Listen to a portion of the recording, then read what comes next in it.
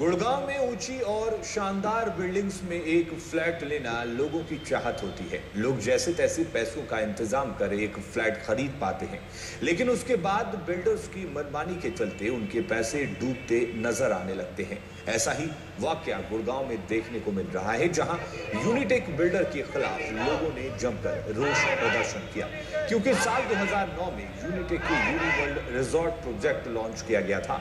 कागजों के मुताबिक उन्हें साल 2014 में फ्लैट्स मिलने थे और महज 18 महीने में 90 फ़ीसदी तक का पेमेंट भी ले लिया गया।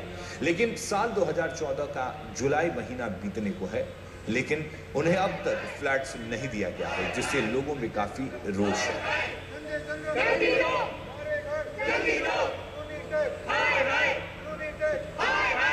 सपनों का घर पाने की चाहत किसे नहीं होती? और उसके लिए लोग अपनी गाढ़े पसीने की कमाई तक लगा देते हैं। आप हमारे पीछे देख सकते हैं, ये यूनिटेक का यूनिवर्ल्ड रिसोर्ट प्रोजेक्ट है, जो कि 2009 में लॉन्च हुआ था और 2012 तक इसके निवेशकों को पोजेशन देने की बात कही गई थी। लेकिन मात्र 18 महीने में इनसे 90 प्रतिशत तक के पैसे ले लिए गए, लेकिन अभी तक किसी एक को भी पोजेशन नहीं मिला है। अब देखने वाली बात हो ये होगी कि इस रोज प्रदर्शन के बाद लोगों की यूनिटेक बिल्डर की क्या प्रतिक्रिया होती है और निवेशकों को कब उनका पोजेशन मिलता है? कैमरा पर्सन अनिल शर्मा के साथ सुधीर कुमार सिंह ई न्यूज़ गुड़गांव।